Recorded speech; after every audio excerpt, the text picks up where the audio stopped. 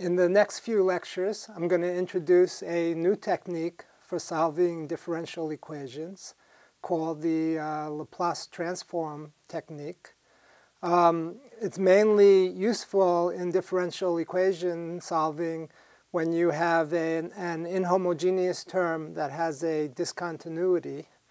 Um, but the technique itself is also kind of a, um, a useful idea so uh, we'll talk about uh, uh, that in uh, this video, how um, uh, by using the Laplace transform, you can convert a differential equation into another space where the equation is easier to solve. And that idea is applicable uh, for other types of transforms that we won't cover in this course, but you might see as an engineer, such as a Fourier transform. So what is the definition of the Laplace transform? So we consider the Laplace transform of some function of, of time, f of t, uh, will become another function which is a function of a different variable s. So we talk about the Laplace transform as transforming a function in t space to another function in S space. And what is the definition of that? Uh, the Laplace transform is an integral transform. So the definition is that this is the integral from 0 to infinity of e to the minus st times f of t dt. So you have to do an integral over this function f of t to get a function of s. The s here enters in this uh, exponential function. Okay. The Laplace transform has some nice properties. One is that it's a linear transformation, so it's linear. What that means is that if you take the Laplace transform of a constant times f1 of t plus another constant times f2 of t. Um, when you substitute this into the integral, you can use the fact that the integral of a sum of two functions is a sum of the two integrals, so the integrals separate. And you can also pull constants out of integrals. So this is equal to c1 times the Laplace transform of f1 of t plus c2 times the Laplace transform of f2 of t. Okay? That's the property of linearity of a transform. Uh, there's one more property of the Laplace transform that is uh, necessary for us to be able to use it in our solution. Uh, you can take the Laplace transform of f of t to get another function, capital F of s, but the, the transform is invertible. So you can also take the inverse Laplace transform of f of s to get back the function f of t. Okay? And uh, the Laplace transform is done by an integration. The inverse Laplace transform we will do using a table. Okay. Uh, how does such a table get constructed? We can look at an example to see how that's possible. So we can take, say, the Laplace transform of some function that we may um, that may occur when solving a differential equation, such as the Laplace transform of the exponential function because our exponential function is our important ansatz, right, for the homogeneous um, differential equation with constant coefficients. So what is the Laplace transform of e to the at? Uh, well, we use the definition, so that means f of t equals e to the at. So this is the integral from 0 to infinity. And then we have an e to the um, uh, we can have uh, e to the negative, and then we have uh, s minus a t dt. and we can do this integral. This is just the integral of an exponential function.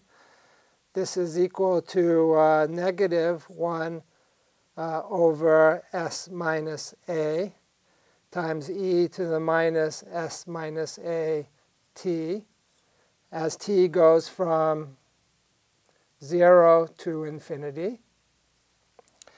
Um, the upper limit uh, we can uh, do provided that s is larger than a. So we're going to have to assume s is larger than a, then the upper limit will go to 0. So we assume here that s is greater than a. The upper limit goes to 0, and then the lower limit, we subtract uh, the value at t equals 0. So then we'll just get 1 over s minus a. Okay, so that's just done by a straightforward integration. The Laplace transform of e to the at is just 1 over s minus a. So you do this for a whole uh, a bunch of functions that are relevant for solving uh, a differential equation, and you construct a table. So let me show you now what the table looks like. You can see the table um, in the lecture notes that you've uh, downloaded. Okay, if you look at the table, you'll see that the uh, result that um, I just derived is in line 3. And the left-hand side is the f of t, e to the at, and the right-hand side is 1 over s minus a. In line 4 is the Laplace transform that you would use to construct the transform of a polynomial, you get t to the, the transform of t to the n. In line 5, it's a polynomial times an exponential function. 6 and 7 are the sine and cosine functions. 8 and 9 are the exponential functions times the sine and cosine functions. And 10 and 11 are the is t times sine and t times cosine, which is relevant for problems with resonance. Uh, we'll discuss uh, lines 12 and 16 later. Okay, so um, we assume now that we have the table of Laplace transforms and we can use that in solution. So now finally in this video I want to kind of take a bigger picture of what we're doing. What does it mean to solve a differential equation by the method of Laplace transform? Let me draw a uh, grid to try and explain this better. Okay, we have a two by two grid. So the left side, I'm going to call this uh, T space.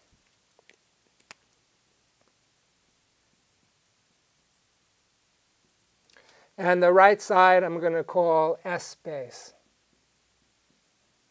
Okay? So you move from T space to S space by Laplace transform, and you move from S space to T space by the inverse of the Laplace transform. Okay, the first row here I'm going to call the uh, equation. And the second row of this table I'm going to call the solution. Okay, so what is the uh, problem? The problem is that we're given a uh, differential equation. So this is the uh, ODE here. Okay, that's where we start. And we want to end up in uh, the box below, which is the solution of the ODE. So we have an equation for x of t, say, and we want to find a solution for x of t. So we can uh, use the direct method. We can go from um, the ODE to the solution. So this one will be our x of t. Okay, that's what we've been doing in the since we started this course. We have a differential equation in time. For the second order one, we use an ansatz method. And then we, using the principle of superposition, we uh, construct a general solution. And then we uh, uh, put in the initial conditions and find the solution. Okay, what we're going to do now in the Laplace transform technique is we're going to take this differential equation and we're going to take the Laplace transform of it. So we're going to take Laplace transform here. And then what do we get in S space? What we will get is an algebraic equation. Okay? In fact, there will be a linear equation that's uh, easily solved for uh, our Laplace transform function, which is our capital X. Okay? So uh, starting with x of t, we're going to end up in an equation for capital X of s. It will be an algebraic equation for capital X, and we can easily solve it. The solution then um, will be here. Um, this is an equation in this box here. It will be the x equation, right? And then in this box here will be the capital X solution. Okay. So we're going to go from the equation for little x to the equation for big X. And then uh, we're going to solve for big X, and that will be our solution. And then the last step then will be going to find the solution for x of t, and that will require the inverse Laplace transform. Okay, so we're going to see then uh, two different methods for solving differential equation. The first one we've seen already, which is the direct method.